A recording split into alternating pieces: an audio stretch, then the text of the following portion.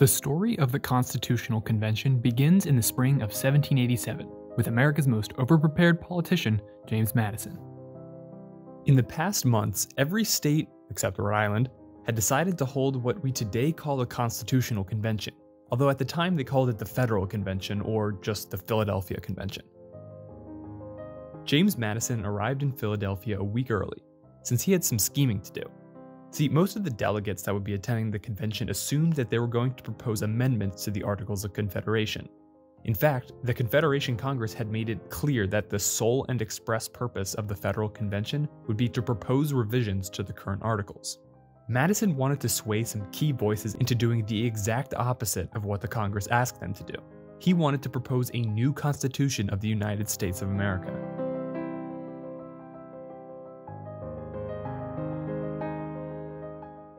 The way Madison saw it, there were three kinds of delegates that would be arriving. Federalists, like himself, that wanted a new constitution, moderate reformers that wanted amendments to the Articles of Confederation in varying degrees, and conservative anti federalists opposing reform. Madison got his hands on a list of every state delegation that was going to attend the convention and categorized each attendee into one of these boxes. What he found was interesting. A lot of the delegates had been officers in the Continental Army, and even more had served in the federal government in one way or another. Both of these groups had first-hand experience into how broken the Articles of Confederation were. Chances are they'd at least hear Madison out. Also, apparently there were going to be like so many Williams there. Like, would it have killed them to send more interesting names like Gunning Bedford Jr. or Daniel of St. Thomas Jenifer? Madison spent some of his extra time in Philly letting other members of the Virginia delegation in on his plan. Two in particular needed some convincing George Mason and Edmund Randolph. Both recognized that a lot of reform was needed if America was going to succeed, but they thought that what Madison was proposing went too far.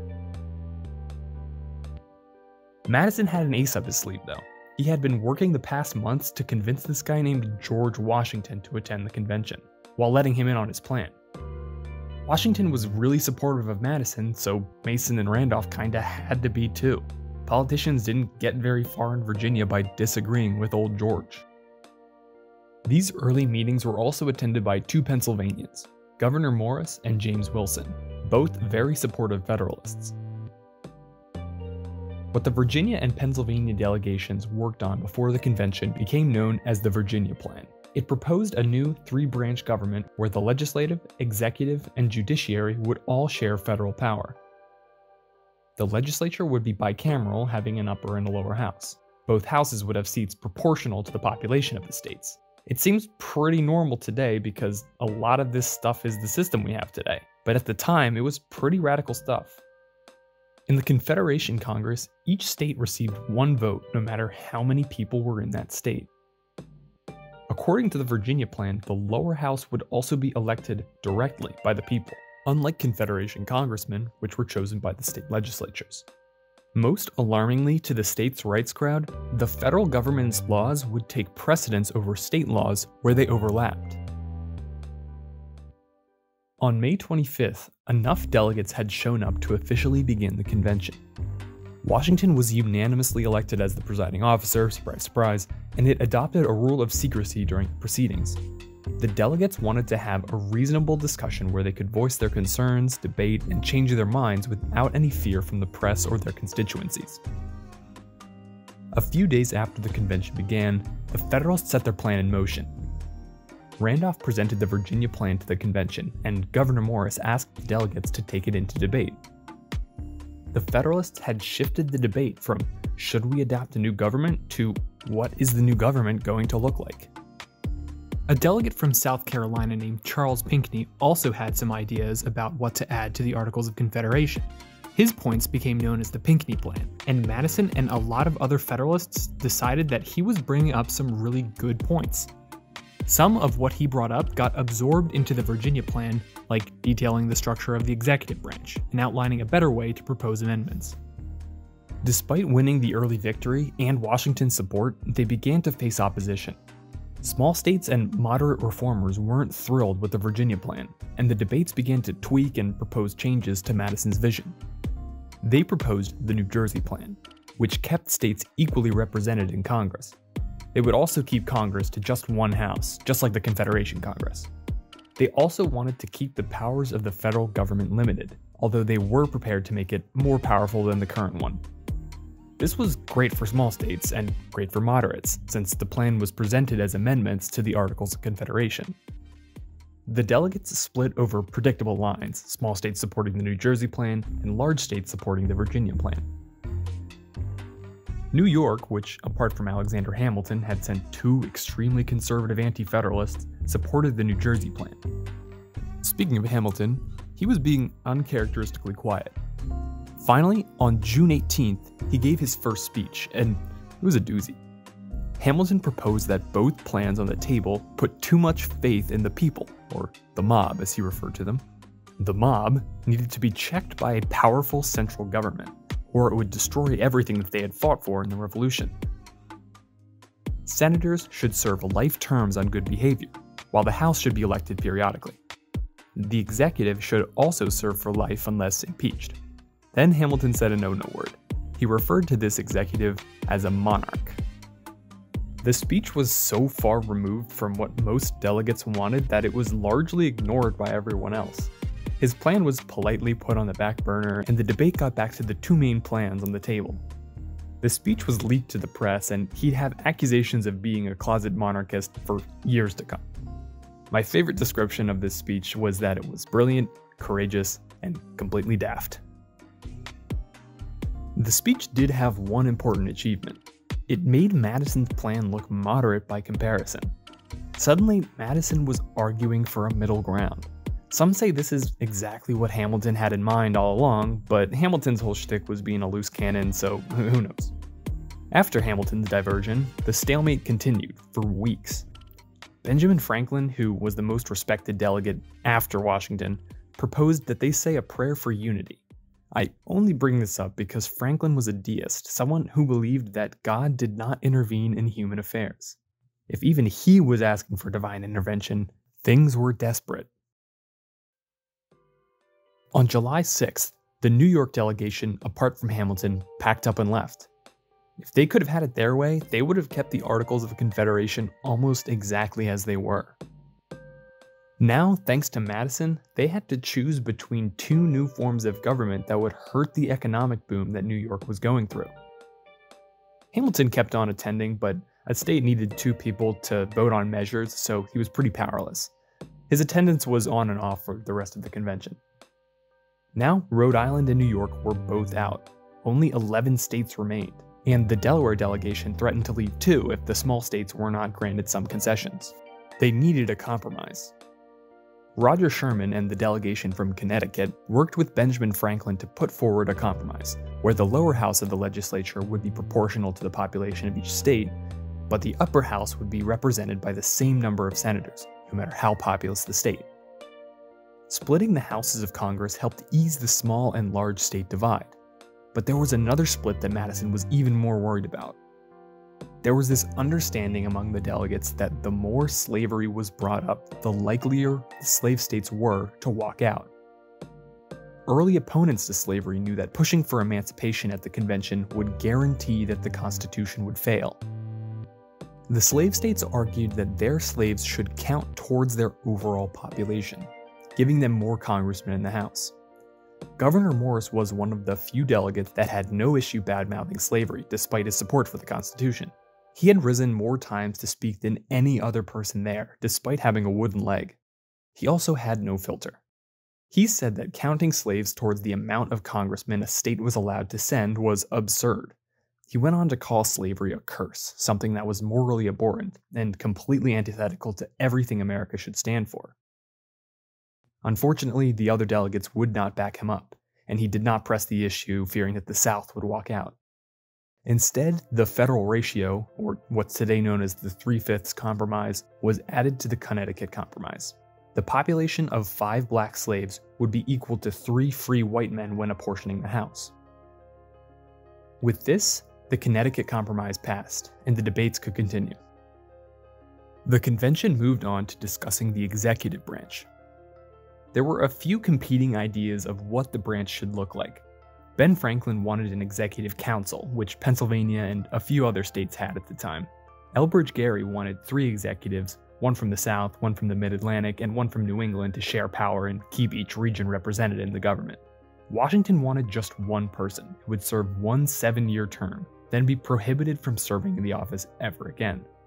Eventually, the delegates agreed on one president with an unlimited amount of four year terms. How the president would be chosen was a complex question. The delegates, like Hamilton, were afraid of the mob, so they couldn't let the president be directly elected. Others wanted the legislature to elect the president, but this seemed a little too much like parliament and it violated the separation of powers that they were going for. Instead, they came up with the now infamous Electoral College. The idea was to keep the president insulated from the mob by a layer of electors chosen by the state assemblies. I'm not going to go into the inner workings and criticisms of the Electoral College here, but it's been debated ad nauseum on the internet. I'm sure you can find a place to explain it. One thing I will add is that since the Three Fifths Compromise was adopted, slave population would inflate the Electoral College vote count of slave states, so the Electoral College was really a no brainer for any state with a growing slave population. Later, when discussing the powers of Congress, slavery came up yet again, the southern states were afraid of falling behind the mercantile North, so they wanted any bill involving trade to require a supermajority in Congress. This was a non starter for the Federalists. One of the main reasons the current government wasn't working was that a supermajority was needed to do anything. Instead, they extended an offer to Georgia and South Carolina. In exchange for allowing trade laws to pass with a simple majority, the Constitution would guarantee that no amendment or law could be passed that could end the slave trade for 20 years. George Mason hated both halves of this deal. He argued that a supermajority was the only way to keep the South from falling behind the North economically. He also hated slavery, especially the slave trade, despite owning 300 slaves himself. A lot of slave owners at the time, like Mason, Madison, Washington, and Jefferson, all acknowledged that slavery was evil, but they either refused to do anything about it or saw it as a necessary compromise to keep the Constitution alive. Mason went on in his speech to predict that the South's reliance on slavery would slow its economic growth, allowing the country to be dominated by the northern free states. He knew that slavery was evil, and he and educated Southerners knew that it would be a long term burden on their states. But slavery was in the process of embedding itself in Southern society, and not many were willing to stop it. Finally, after four months of deliberation, debate, and compromise, their ideas were ready to be put down on paper. As the two most vocal supporters of the new government at the convention, Madison and Morris were tasked with writing the actual document. When they completed the document, the preamble read, We the people of the states of, and listed all the 13 states by name, similar to how the Articles of Confederation began. Morris thought that instead of naming each state, they should just be replaced with the United States. It's a subtle change, but it reflected the fact that the new government would be representing the people of the country as a whole, not just the states that made up the Union. Madison agreed. One notable thing that the delegates left out was a Bill of Rights. Some states had added one to their state constitutions, but seeing the can of worms that debating one would cause, they left it out. The final article of the Constitution, Article 7, stated that the Constitution would go into effect after it was ratified by nine state conventions. After that, it would become the government of those nine states. Everything up to that point occupied a gray area of legality where the convention delegates were playing fast and loose with the Articles of Confederation, but this one was in blatant violation of Article 13. Once you were in the Confederation, you could not leave or form separate alliances with other states. The only way to change this or leave was a unanimous amendment to the Articles. Now, a few dozen people in Philly had just decided that if nine states agreed, they could leave.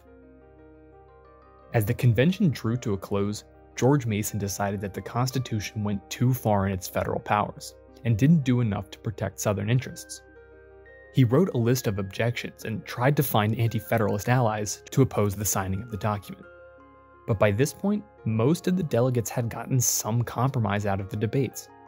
The Anti Federalists in the New York delegation had already left, and the Anti Federalists in the Maryland delegation had gone home at the beginning of September. But he still wasn't the only critic of the Constitution that stayed. Elbridge Gerry of Massachusetts had several objections that he shared with Mason. Plus, Madison and Morris had not included a Bill of Rights. How else was the government supposed to have checks on its own power? Mason was the guy that had written Virginia's Declaration of Rights, and he was adamant that it was needed in a document that would be as powerful as the Constitution. Edmund Randolph also had objections. He had been one of the earliest supporters of the convention, and he had pushed Washington to attend, but now things seemed to be getting out of control. He proposed that the states should be able to propose amendments at their state ratifying conventions and send them back to another constitutional convention. Gerry saw this as a chance to get a federal Bill of Rights, and he seconded the motion. Charles Pinckney of South Carolina rose to address the proposal. Giving every state the opportunity to propose their own amendments would lead to 13 sets of conflicting amendments. It would kill the Constitution. Gerry attempted to rebut Pinckney, but he ended up shooting himself in the foot. He basically said that before the Constitution was ratified, amendments needed to be added that would get rid of Congress's power to tax and regulate trade, as well as the Three Fifths Compromise. Regulating taxation and trade was like the core reason that they were even at the convention. And the Three Fifths Compromise, if any of the southern states were going to vote for the Constitution, that had to stay in. Gerry had successfully talked potential allies out of voicing their concerns. The state delegations unanimously voted down Randolph's proposal to allow amendments during the state conventions. They were not the only people unhappy with the Constitution. Madison, Hamilton, and Washington all thought that they had actually conceded too much, but there was a general consensus that this Constitution was the only alternative to the dissolution of the Union. Before the Constitution was signed, Ben Franklin gave a speech that captured how the room was feeling. This wasn't the document that he would have made if he was the one writing it, but it was the best that they could do.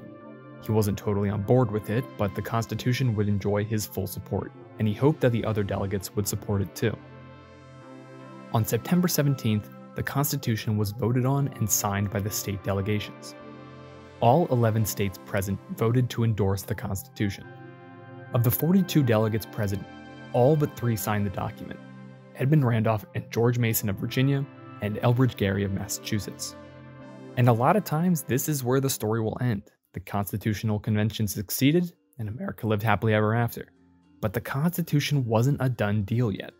Nine out of 13 states still had to ratify it, and in September of 1787, that wasn't a sure thing. The Constitution was sent to the Confederation Congress, and the battle for ratification began.